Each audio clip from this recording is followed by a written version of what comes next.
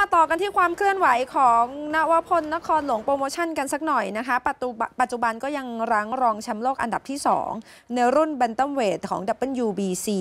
แม้ว่าไฟต์ล่าสุดเนี่ยจะไปแพ้ให้กับเจสันโมโลนีนักชกชาวออสเตรเลียในการไฟต์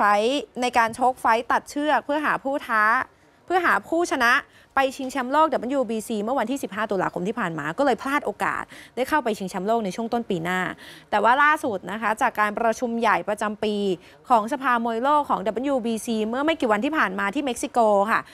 WBC เขามีคำสั่งออกมาเป็นมติเอกฉันท์เลยนะคะ ว่านวพลนครหลวงโปรโมชั่นจะได้โอกาสชกตัดเชือกอีกครั้งหนึ่ง แต่คราวนี้ค่ะจะเจอกับเรมาร์ตกาบาโลนะคะนักชกชาวฟิลิปปินส์เป็นดีกรีอดีตแชมป์โลกเฉพาะกาล WBC รุ่นแบนตัมเวทและปัจจุบันเป็นแชมป์ WBC เอเชีย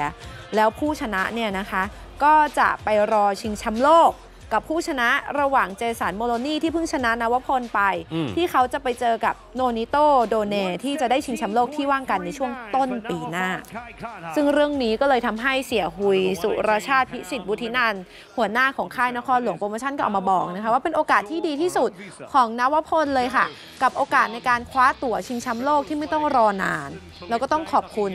WBC ด้วยนะ ที่ให้โอกาสนครหลวงโปรโมชั่นอย่างต่อเนื่อง ซึ่งครั้งนี้เสี่ยหุยบอกว่าให้สัญญาเลยว่าจะประมูลแล้วทำทุกอย่าง เพื่อให้การชกของนวพลเนี่ยเกิดขึ้นที่ประเทศไทย เพื่อโอกาสของนวพลด้วย แล้วก็จะได้เห็นว่าการชกที่บ้านเนี่ยมันเป็นอะไรที่ดีที่สุดแล้วครับจากบทเรียนครั้งล่าสุดที่ไปชกที่ออสเตรเลียที่ผ่านมาเอ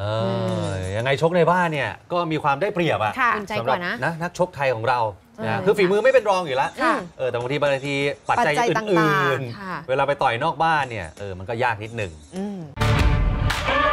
Thank you.